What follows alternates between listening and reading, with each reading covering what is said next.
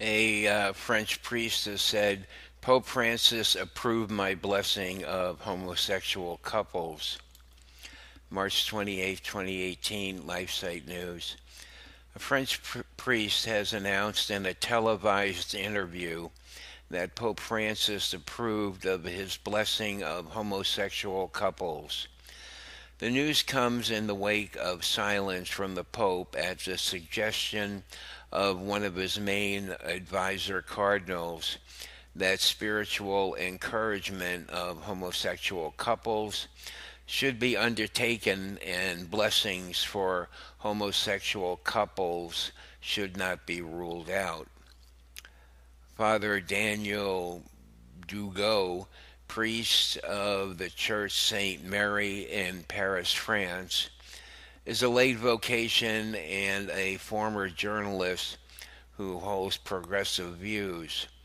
According to a recent interview he gave to the international news service Konbini News, he just published an open letter to Pope Francis in the form of a book in which he calls for a quote reinvention unquote of the church and for a removal of the quote monopoly unquote of the role of the priests in the church. Most importantly, Father Duigou also claimed to have recent uh, received Pope Francis Pope Francis's personal support for blessing homosexual and remarried couples. In the interview, Duigou said that he had a 45 minute personal meeting with Pope Francis.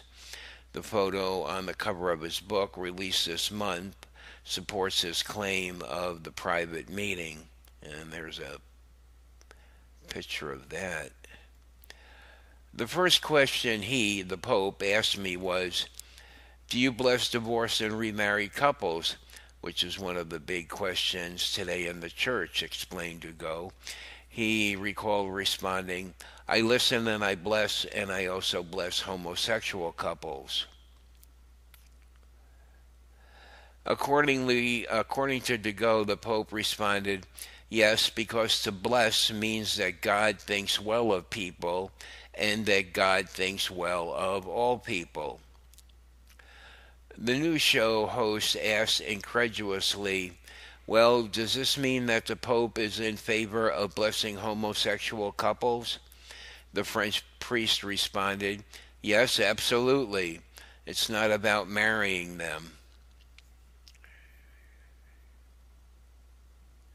Well, the article goes on here, so um, this seems to be a uh, something new here.